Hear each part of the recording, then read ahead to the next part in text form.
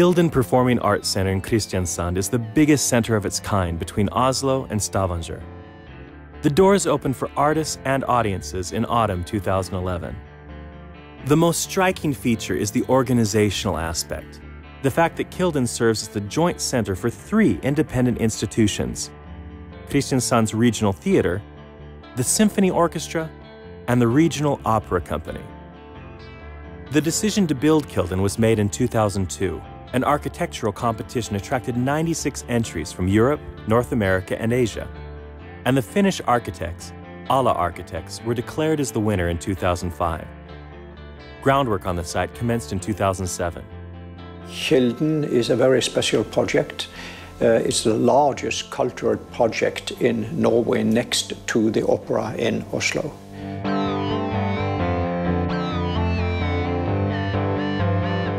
It started in 2004 uh, with an architectural contest where four young architects from Finland, Ala Architects, uh, amongst 96 entries, uh, won the contest. The undulating overhang of the facade on the seaward side of Kilden continues in the ceiling inside the building. The top section of the building is supported by inclined steel columns, each 25 meters apart. The facade has been clad with local oak. Steel was used to give the facade its shape. Wind conditions also influence choice of materials, since the building moves lightly. I think the most striking element uh, is the front uh, of this project. Main architectural concept really demanded outrageous overhang structure and that could be done only out of, out of steel.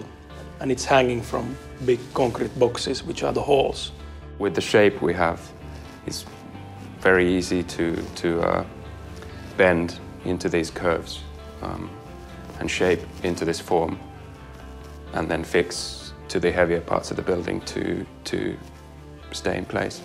And there's also, I mean, there's a wind load which, which will shake the building, and there needs to be uh, a certain amount of movement allowed, and that's also much easier with steel.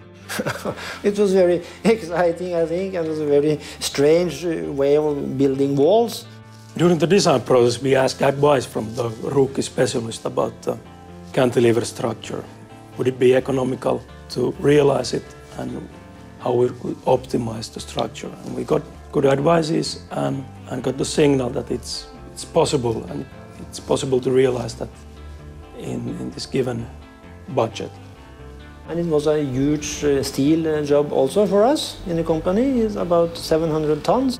Uh, the whole construction was based on welding uh, and also welding at site. So that, uh, that was a, a challenge. But I'm quite sure if you have gone, gone, gone with this first, uh, first solution with welding, it will have been a catastrophe. Because then we have no control with the tolerances and the weather condition, and we have used so much hours at site, so nobody had afford to do it, I think. Luckily, we have Ruukki they're making so very much nice solutions and helping us.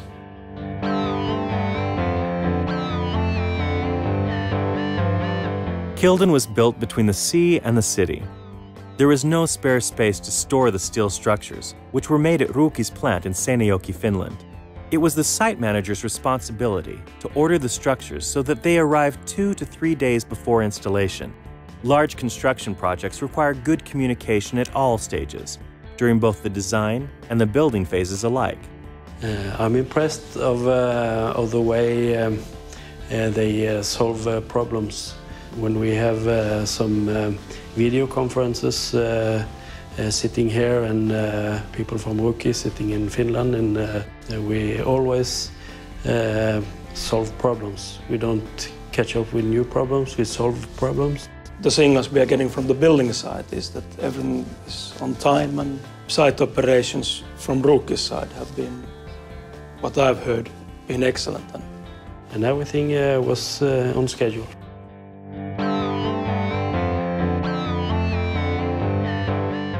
Kilden was created to accommodate just about anything for anyone. With a generous space of 128,000 cubic meters, four halls, and 2,270 seats, it serves as an art center that hosts local amateurs, well known Norwegian and international artists alike. Kilden is the perfect venue for everything from intimate shows to breathtaking full scale performances. Yeah, I think it will, uh, will lift the area. It will be a hotspot in the, that way. Oh, this is a building I will uh, brag about for uh, as long as I will live.